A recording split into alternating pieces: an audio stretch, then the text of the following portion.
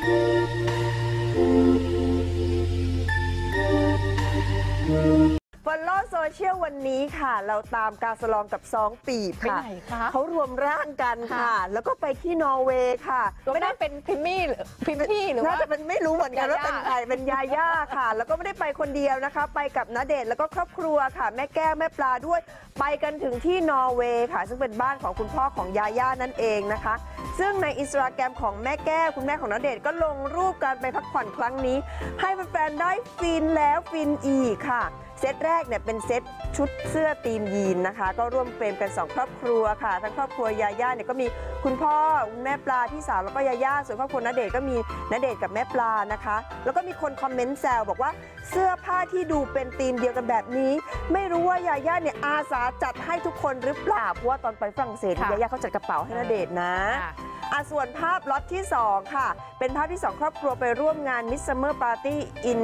Sun Sweden นะคะ ที่ประเทศสวีเดน อันนี้คือแม่แก้วเนี่ยครับพิมพ์แคปชั่นแบบนี้มา แม่แก้วก็เสิร์ฟความฟินต่อเนื่องเลยค่ะ ตั้งแต่ภาพนี้นะคะ เป็นรูปพี่ณเดชน์ยาย่าไปเก็บดอกไม้ ดอกหญ้าที่ทุ่งหญ้า แล้วก็มีการเต้นรำของทั้งคู่ ในธีมชุดขาวพร้อมมงกุฎดอกไม้ด้วยนะคะ หวานมากอะ ฟินมากเอาไปดูคลิปกันสักหน่อยเลย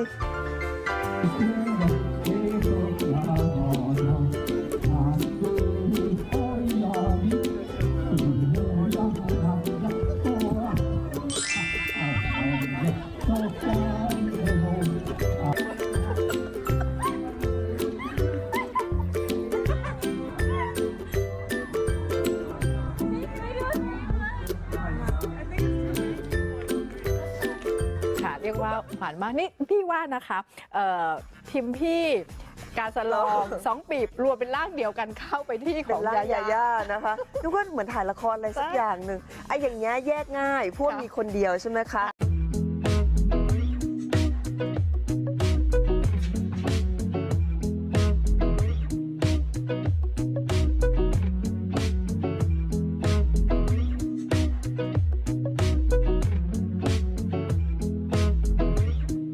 Música